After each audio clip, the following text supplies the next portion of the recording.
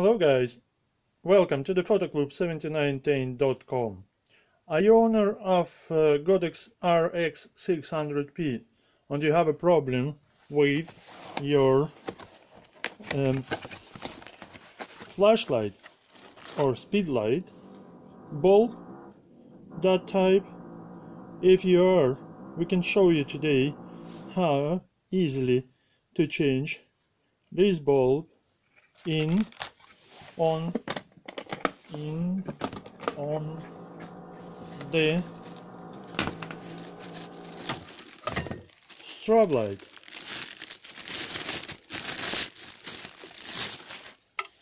This takes only up to two minutes to change this bulb on the strobe light. Let's do it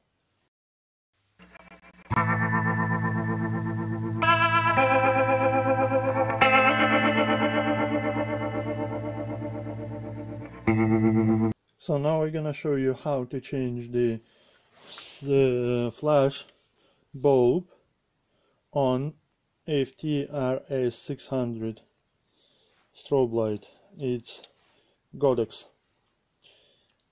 The main one, like as we have a spare one, and to find out that there is, as you can see, it just simply slides in on this metal piece in here which we found it in here start to hold around. So we need to find the end of it as I already did and we need to pull it out. So and get around. Now so that's it like that's the end. So now we have to pull up and pull that down. So as you can see we pull it out. Here we go. It's out.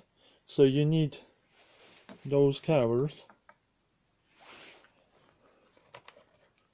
to cover those uh, sides back as we found it. And now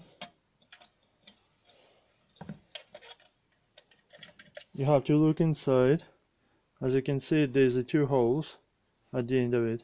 So you have to get into those holes. And just push in. And now we're getting in here. And as we did before we have to get around that. To make it that everything works as it should be. So that's it. The bulb is changed. It takes me like three minutes. No actually two minutes and 20 seconds. So now we're gonna do the test so be careful, it's gonna be flush. One more. So it's working perfectly.